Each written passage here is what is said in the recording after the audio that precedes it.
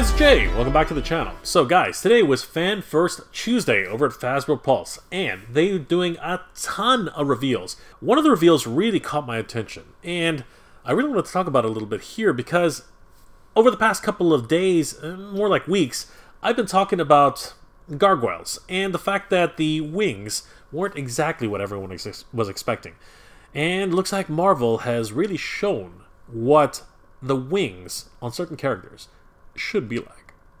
Anyways, guys, let's take a deep dive into this. But before we get started, if you enjoy this type of content, please consider subscribing to the channel. I post up to two episodes a week, and I hope you guys enjoy. And don't forget to hit that bell notification so you guys will always know when new episodes are posted.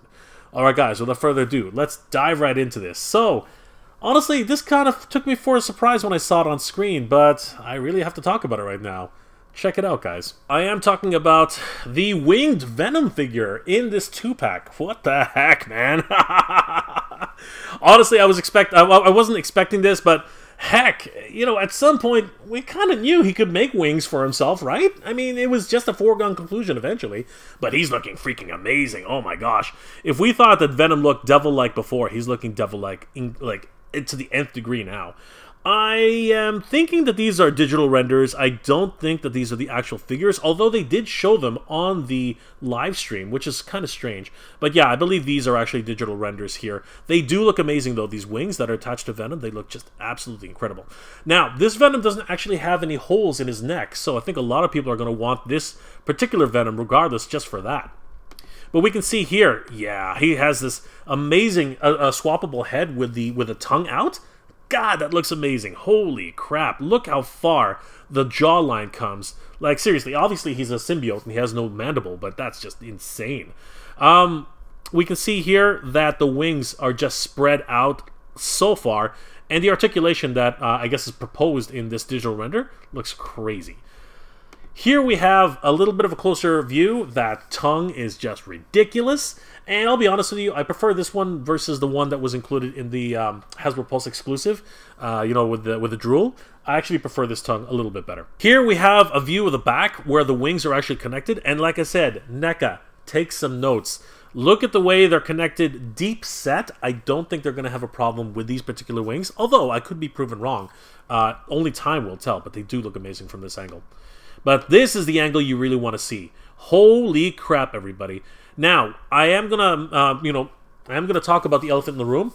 The way these are, the way these wings are spread are spread out, they do look like they're going to have the same issue as they did with the with the gargoyles wings. However, if we take a closer look at this joint right here, there is a pivot point. Yes, there's a pivot point in the wings, and there's a pivot point on the back plug as well.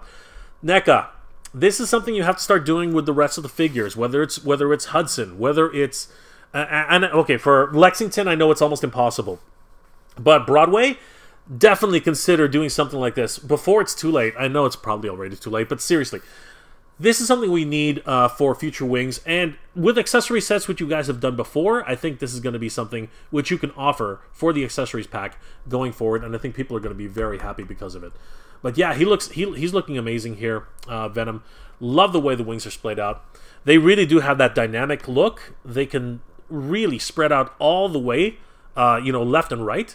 But at the same time, like I said, they can they can actually bend down if needed uh, because there's a break right here. We can't see it on this digital render, but right here is actually where it breaks, and there's a fold on the other side to actually, um, you know, put put all of that together. So yeah, definitely looking forward to getting this particular Venom. Here he is with all of it, all of his accessories. We have the two wings, obviously fully splayed out there. We have Venom here, of course, no shoulder pegs. We have his two swappable hands, two clawed hands, and of course, the tongue face Everybody loves a good tongue face. Hilarious. So here, here are the wings uh, detached from the body, and we can see that they do plug in properly. This is going to be an amazing figure all over. Here's a bit of a closer detail on how the wings are supposed to attach. Again, time will tell whether or not this is actually going to be more secure or less secure than the Gargoyles figures. I guess we'll just have to wait and see. Venom doesn't come alone. He does come with an additional figure in the two-pack. It is Knull.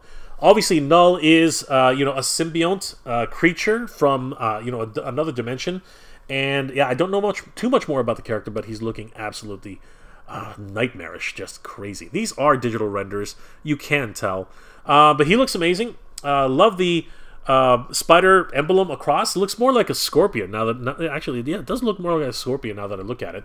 Um, love the striations in the arms. He's got that additional swapped head, which looks makes him look more, yeah, I guess stoic, if you will. He doesn't have the, those crazy teeth coming out. Yeah, he comes with this uh, crazy symbiote sword, just insane. Those wonderful boots, that wonderful getup. Again, I don't know enough about the character to really make so you know to say whether or not he looks exactly like the comic book uh, iteration, but he does look incredible in my in my eyes anyway. Seriously, this is just crazy, and I love the attention to detail that's in the sword itself. Knull comes with an additional swap face. Of course, that is his more stoic face. He comes with his venomized face, and he does come with that incredible sword. This two-pack is pretty amazing. Let's be honest. Although Knull is gigantic, you know, he's he, I think he's a seven, eight inch figure. Venom basically uh, dwarfs him with the size of his of his of his wings. So yeah, definitely if you're going to grab this two pack, you're definitely going to get your value, your money's worth for this. Although I do, I am concerned that it is going to be a little bit pricey uh, in terms of its overall cost. However, we'll find that out come tomorrow uh, when it when it goes on, uh, up for pre-order on Hasbro Pulse. King in Black the two pack. Guys, that was absolutely crazy. Honestly, those Venom wings looked absolutely nuts. And I have to say, you know, I'm sorry, NECA, you do some amazing work in terms of your overall sculpts for your characters, but those wings really did sort of fall short of the mark. And uh, I have to say, if you're listening, take some notes from what Marvel's doing, because if those wings actually peg into the back properly, and the way they collapse and fold in on themselves, I think that you have a winner right there if you want to do something along the same lines. But guys, tell me your thoughts. Are you guys just as amazed by the new Venom figure that's being uh, released along with Knull from uh, the Marvel Legends series? And are those wings something that uh, you would hope that the Gargoyles would have come with the first time around? Please leave those comments in the comment section below. Well, guys, if you enjoyed this episode, please do leave a like. It really does help me out. I hope you're all doing well, staying safe. And as always, everybody, Thank you very much for watching. Geek Proud. I want to give a huge shout out to all my Patreon and channel member supporters RyRackCan33, Old IT Guy, Princess Cagali, John Joker, Michael Traverso, Christopher Herndon, Snell World, Thomas Meyer, Budrick Porter, and Joseph Michaels. Thank you for all your support, everybody. It really means a lot to me and really does help the channel to keep going.